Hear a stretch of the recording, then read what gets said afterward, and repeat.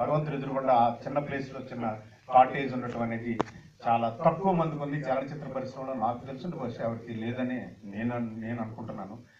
అలా ఆ భగవంతుడి ఆశీస్సులు ఆ తిరుమల తిరుపతి వెంకటేశ్వర స్వామి గారి ఆశీస్సులు నిరంతరం మా అన్నయ్యకి ఉండాలని మనస వాచ కర్మేణ కోరుకుంటూనే ప్రార్థిస్తూనే ఉంటాం.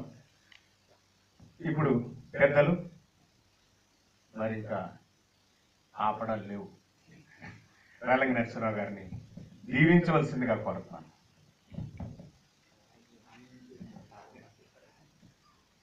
సభా సరస్వతికి నమస్కారం. సభా వేదిక మీద ఉన్న మా కుల సభ్యులు ఎక్సెప్ట్ రాజేంద్ర ప్రసాద్ గారు కరణ్ కుమార్ గారు. ఎందుకంటే మా దర్శకుల సంఘం నేను చెప్పేది. మా కులం అంటే. మీరు మీరు కదా సారీ. అందరికీ నమస్కారాలు. ఇకపోతే మరి నేను బెటర్ ఆఫ్ అనాలా లేకపోతే ఏమనాలో తెలియదు మా రాజేంద్ర ప్రసాద్ గారిని. ఆయనకి శుభాకాంక్షలు.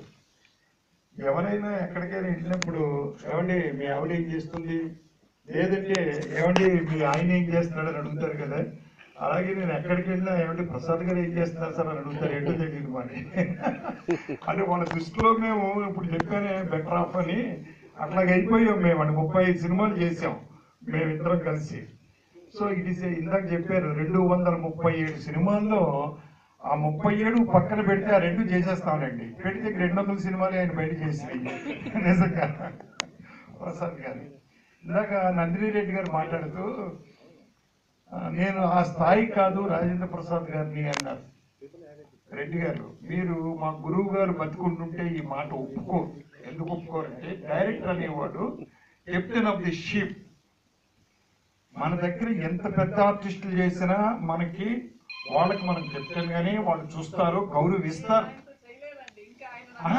మీరు చెయ్యక్కర్లేదు చెయ్యక్కర్లేదండి. చెయ్యకపోయినా అటువంటి గురువు గారు ఎప్పుడు మా దాసన అన్నగారు ముందు అదే అంటాడండి. డైరెక్టర్ అనేది వాడు కెప్టెన్ ఆఫ్ ది షిప్ అని ఆయన అసలు ఇలాంటి పదాలు ఒప్పుకోడు గమ్మున ఆయన. మీరు బాల్యమిత్రుడు కాదు క- కలల రాజకుమారుడు మీకు రాజేంద్ర కుమార్ గారు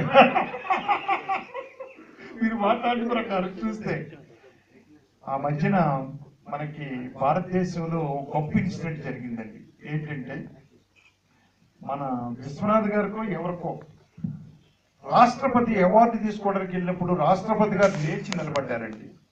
అది మొన్న టీవీలో కూడా ప్రసారం చేశారు. అది మరి విశ్వనాథ్ గారి విషయంలోనో ఒక నటుడి విషయంలోనో ప్రజెంటేషన్ తీసుకోవడానికి వెళ్ళినప్పుడు. మనం చాలా గ్రేట్గా ఫీల్ అయ్యామండి ఇది. భారత్ రాజ్ కపూర్ అండి? రీసెంట్గా కూడా సార్. రీసెంట్గా విఖ్యాత రచయిత మరియు దర్శకులు విఘ్నేష్ సతీష్ గారిని మరియు ఈరోజు చలనచిత్ర పరిశ్రమలో ఒక హాట్ కేక్ నాగి మహానటి నాగి గారిని ఇద్దరిని కూడా సవినయంగా వేదిక మీద రావాల్సిందిగా ప్రార్థిస్తున్నాను బాబు,